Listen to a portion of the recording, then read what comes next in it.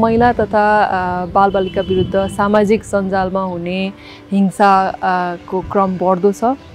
कसैलाई पनि जात धर्म वर्ण अथवा शारीरिक बनावटको आधारमा चाहिँ कमेन्ट गर्नु होच्याउनु नराम्रो भन्नु चाहिँ अपराध हो।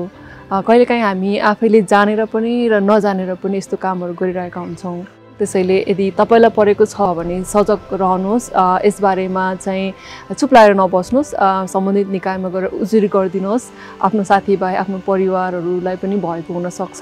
यसबारेमा हामी आफै र अरूलाई पनि सजग गरौँ गराउँ।